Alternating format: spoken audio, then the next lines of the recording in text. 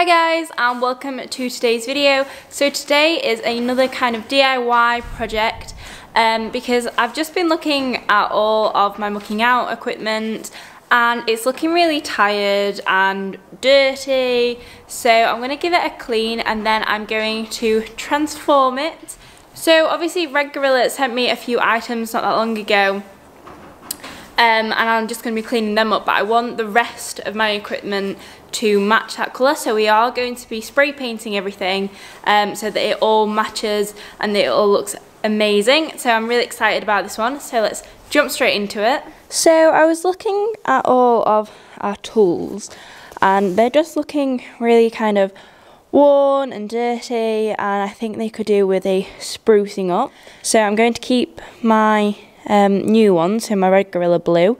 So because of that, I've bought some blue and silver paint so that the rest can match. So we're going to start by giving them all a good wash down and scrub them um, ready for being painted. So up close you can see the state that the equipment is in. It's definitely overdue a spring clean. So the first thing that I'm going to do is tackle my barrow because this is the thing I'm looking forward to spray painting the most so I want this to dry the quickest. So I was going to use um, the pressure washer or the jet wash whatever you call it um, but ours isn't working for some reason. I'm not too sure why but we are going to get it fixed or possibly get another one. So I had to just use a hose pipe and a bit of elbow grease and just scrub it so I started by just using my normal brush I kind of this is just kind of a cleaning brush. Um, it's just a hard bristle brush that I kind of use to scrub anything down when anything needs cleaning. So I went in with that initially and then later on um, I did use a sponge and I also went over it with a metal scourer. This was just to prep the surface for the paint to adhere to um, and I found that any sort of stubborn stains or anything stuck to it um, came off really well.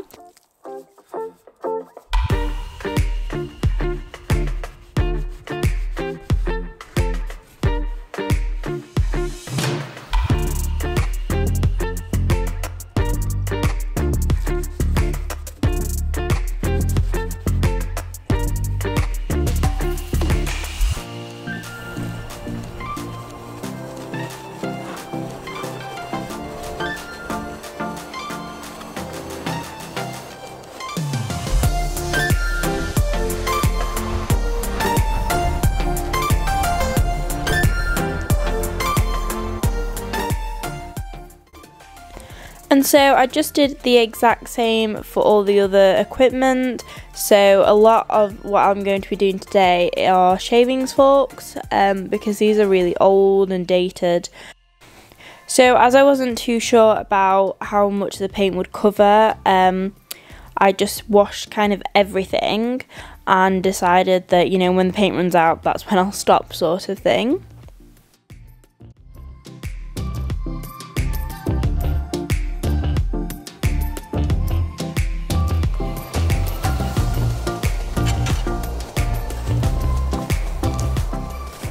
So as well as the shavings fork, I also washed a shovel,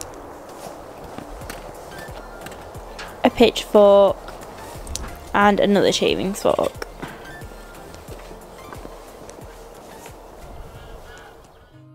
So obviously I have two cans of spray paint, so I'm going to be doing some items one colour, some items two colours. So the items that are two colours, I need to masking tape the areas that are going to be the different colour. So I'm going to start with the blue spray paint. So I was just masking any of the areas on this shavings fork that I plan to be silver.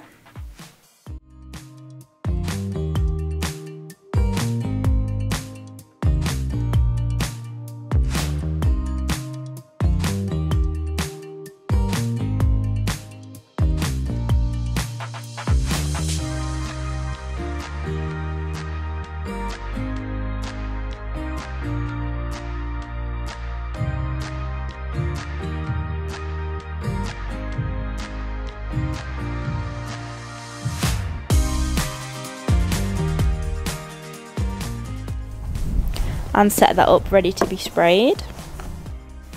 so these are the two paints that I'm using. I'll link them below for anyone who wants to know exactly what they are. And today we are starting with the blue paint. So I decided for the shavings fork to paint the handle blue um, and I found it came up really well. I wasn't expecting the colour to be so bright um, and I absolutely love this colour and it's a really really close match to the things that Red Gorilla sent me. Um, so Red Gorilla or previously known as Tub Trugs, um, that like light blue that they do, this is almost identical to that so I was super happy with that.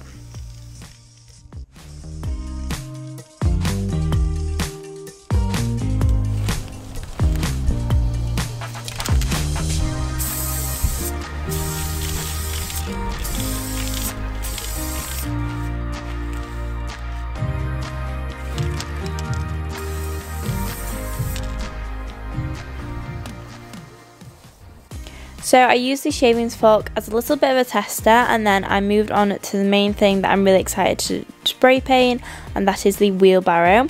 So the wheelbarrow I'm doing two tone, I'm doing the main body blue and then sort of like the legs and handles silver. So I had a lot of area to put masking tape on for the silver bits. Um, I think I went a bit OTT on the masking tape but I just wanted it to be perfect so this did take me a while and I also covered the wheel up because the wheel I didn't want to like spray paint that and it'd be really tricky to do that. And then I just went straight in with the paint. So it says to hold the can about 15 to 20 centimeters away um, because if you hold it too close it will drip. So this means that the coverage isn't like amazing on anything plastic. Um, so I did the interior of the barrow twice, which you will see. But I again was super happy because obviously it's covering quite a dark shade as well. Um, and it just came up so well.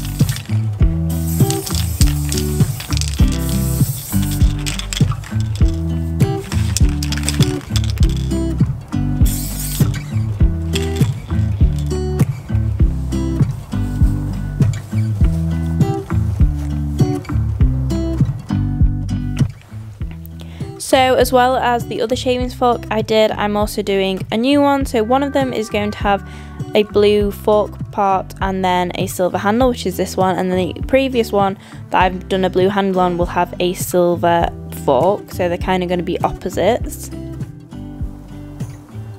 So then I left all of the items that I'd spray painted using my blue to dry and then it was finally time to start unraveling that duct tape and getting ready to use the silver spray paint.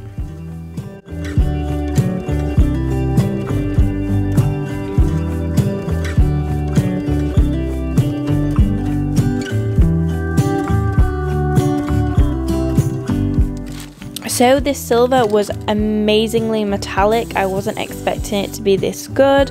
I literally went on Amazon and bought the cheapest spray paints I could um, for this little DIY. So I wasn't expecting great things and I'm so so pleased with how they turned out.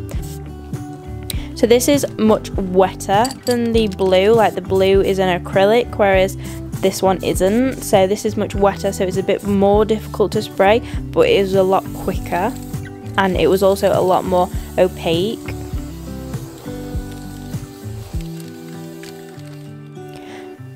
So for the barrow, I then obviously had to take off all the masking tape that took me so long to put on, um, and taking it off took me even longer.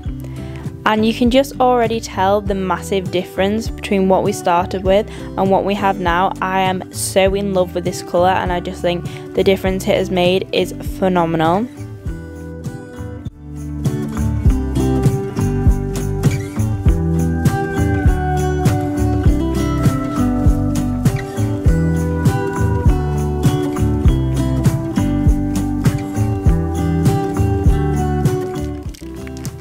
So then once I had covered up all of the sections that we'd already painted and covered up the wheel again, it was time to go in with my silver. I think this is going to give a really, really amazing contrast.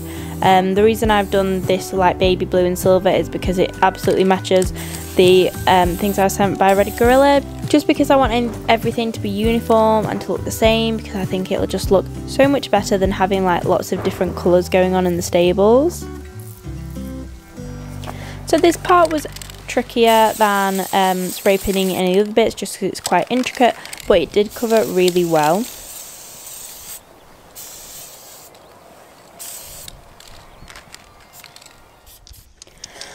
And so by this point I'd run out of blue paint that actually ran out quite quickly compared to the silver so I then just did whatever was left in the silver so I had one of the fork handles left to do because I'd painted the base of that um, blue. So I did that one. And then I had a fork and a shovel left. So I just decided to do the entire things in silver. Um, they are a little bit crazy and it's a little bit in your face. I would have done more blue and more two-tone if I'd had any left. Um, but that's all I had. So I just did them in complete silver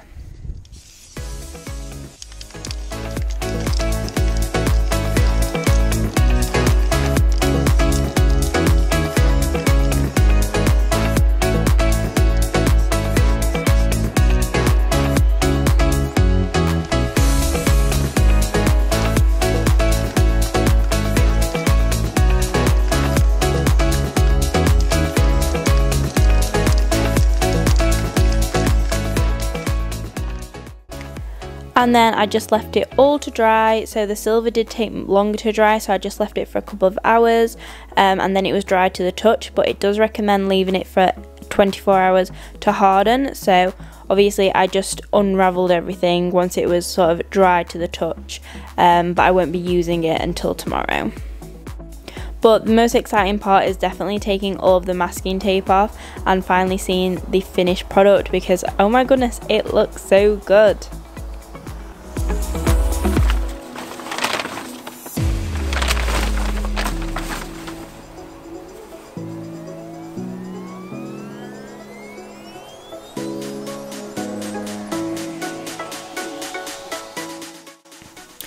So the wheelbarrow was obviously the big thing. So taking this off, I was super happy that it hadn't smudged or, you know, there weren't any bits that were silver that were meant to be blue. I'd actually done a really good job of covering it up and I was super happy with it.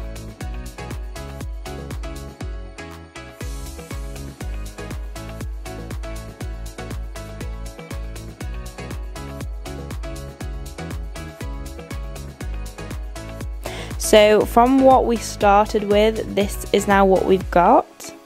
So here we go, this is the finished product. I am so unbelievably happy with how this has turned out. It's turned out so much better than I thought it ever would. Um, I absolutely love this blue colour. If it hadn't run out so quickly, I'd have done a lot more in the blue. Um, so I'm going to order some more and probably do a few other bits in that colour because it is such a nice colour. Um, it's literally perfect. So yeah I'm so happy with this and the, and the finish from both the sprays is really good. The silver one takes a bit longer to dry um, and it's a lot brighter than I thought but I absolutely love it. I'll pop some links in the description bar of the spray paints that I used. Um, I bought them off Amazon so you guys can purchase them if you feel like it. Um, I definitely recommend giving this a go. It was really fun and the results are amazing. Okay guys, so that is the end of this video. I hope you've enjoyed it. I hope it's given you some inspiration and ideas for DIYs you can do. Um, it's a perfect time to do this while we're on lockdown. So if you haven't already, please subscribe to my channel because I'd really appreciate it and turn on those post notifications so that you never miss a video. I post every day at 12 apart from Sundays, so I'll see you guys tomorrow. Bye!